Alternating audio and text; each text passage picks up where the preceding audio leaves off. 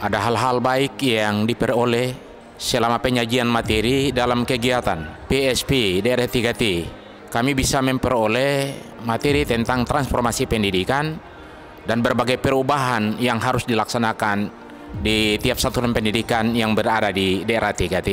Dan dalam kegiatan ini juga kami juga dapat inspirasi dengan berbagai praktik-praktik baik lewat kegiatan diskusi kelompok. Sehingga dalam diskusi kelompok yang berlangsung, kami bisa saling berbagi dan bisa kami kembali ke satuan pendidikan kami di daerah 3T, kami bisa menerapkan itu di satuan pendidikan kami masing-masing.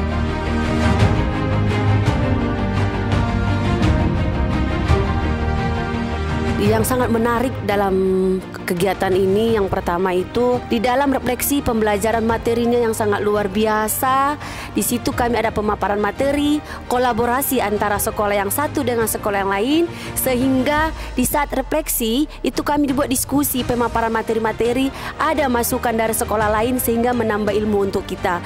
Uh, jadi kalau di sekolah di sekolah kita yang tidak ada, setelah ada acara ini kita tahu bagaimana ke depannya sekolah yang akan kita buat, bagaimana ke depannya tindakan kita yang lebih bagus.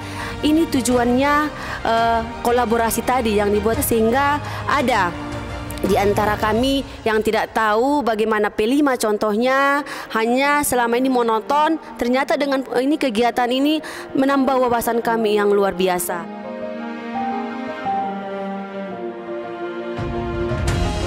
yang kami dapat dari kegiatan ini adalah dapat menimba ilmu tentang bagaimana praktik baik di daerah 3T serta berbagai macam tentang penerapan kurikulum merdeka di daerah 3T di mana uh, para pemateri sangat antusias memaparkan dan kami pun sangat antusias untuk menerima materi-materi yang nanti akan kami imbaskan kepada sekolah kami khususnya dan juga kepada sekolah lain umumnya. Sesuai dengan harapan kami yang dari daerah 3T kegiatan ini sangat uh, menginspirasi dan sudah sesuai semoga setiap tahunnya dilaksanakan sebagaimana mestinya.